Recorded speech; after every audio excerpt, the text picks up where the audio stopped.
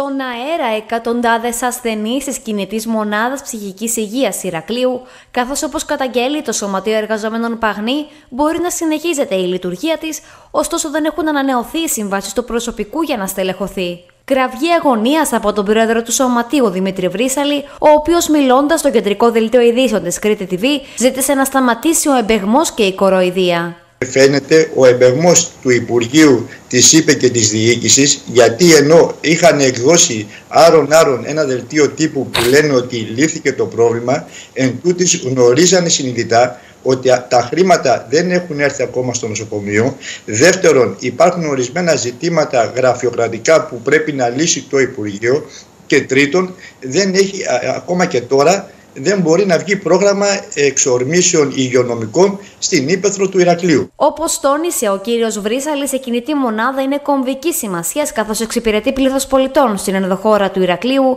και ζητά να ανανεωθούν οι συμβάσεις των υγειονομικών αυτή η κινητή μονάδα που εξυπηρετεί χιλιάδες κόσμο στην ύπεθρο του Ηρακλείου, στα κέντρα υγείας, ακόμα και τώρα που μιλάμε ε, δεν έχει επαναλειτουργήσει γιατί δεν έχουν υπογραφτεί οι συμβάσεις που έπρεπε να έχουν υπογραφτεί από χτες. Φόβος παίρνει το ενδεχόμενο να διακοπεί η λειτουργία της κινητής μονάδας εάν δεν ανανεωθούν οι συμβάσεις, σύμφωνα με τον πρόεδρο του Σωματείου. Εφόσον δεν υπογραφτούν οι συμβάσεις με τους υπάρχοντες υγειονομικούς ε, που δουλεύαν αυτή τη μονάδα, ε, δεν, ε, δεν πρόκειται να βγει πρόγραμμα ούτε το Σεπτέμβρη και βεβαίως και τώρα από την περίοδο που διανύουμε δεν έχει γίνει καμιά εξόρμηση. Ε, στα κέντρα υγείας που πηγαίναν εκεί οι συνάδελφοι και βλέπανε τους ανθρώπους που είχαν ανάγκη. Την ίδια ώρα που συζητάμε για την κινητή μονάδα, ε, υπάρχουν σοβαρά προβλήματα και στην παιδοψυχιατρική κλινική και στο, ε, στο κέντρο που υπάρχει για, για το Αλτσχάιμερ στο Πανεπιστημιακό Νοσοκομείο,